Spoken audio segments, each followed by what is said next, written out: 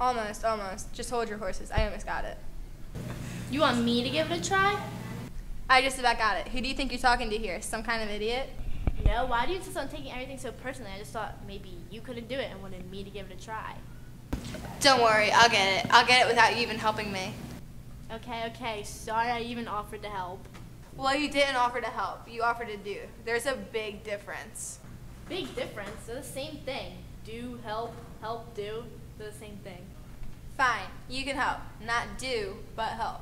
Well, I either do it myself or nothing. Okay, fine, then do it yourself. Good. Now, no rushing me because I've never done this before.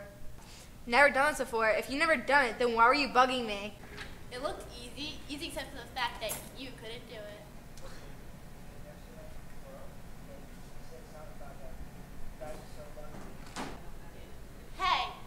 Give me a hand here?